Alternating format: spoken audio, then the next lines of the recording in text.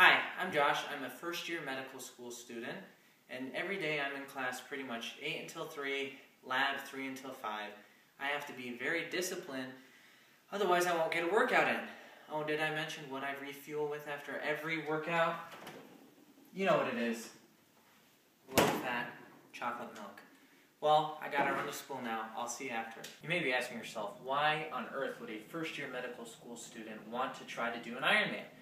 And the truth is, I want to push my body to the limits and see what I'm capable of. My favorite class this semester has definitely been anatomy. I've learned all about muscles and bones, and now I want to see exactly what I'm capable of by meeting an intense challenge.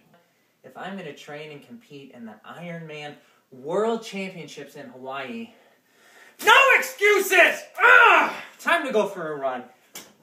I literally eat, sleep, and breathe chocolate milk. Let's do this.